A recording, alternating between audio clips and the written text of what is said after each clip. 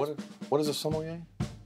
A sommelier is a, is, a, is a position in a restaurant. Who is responsible for the wine program. They oversee service to the guests. That's a very simple way to look at it. You know, and I'm just keeping people happy. I'm popping corks. It's a very simple job. But that is open to interpretation. If you don't work in a restaurant, you're not a sommelier. That's end of story, period. Yeah, I don't agree. So a sommelier is somebody that takes care of wine, period.